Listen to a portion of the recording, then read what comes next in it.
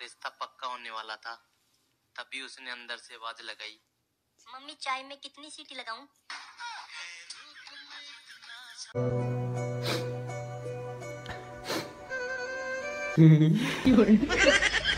भाई तू इस महीने में मेरा कर्जा दे देगा?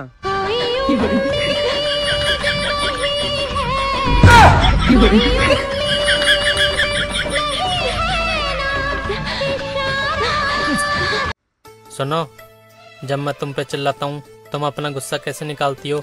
टॉयलेट साफ़ करके। हम्म, पागल औरत। मैं टॉयलेट आपकी टूथब्रश से साफ़ करती हूँ।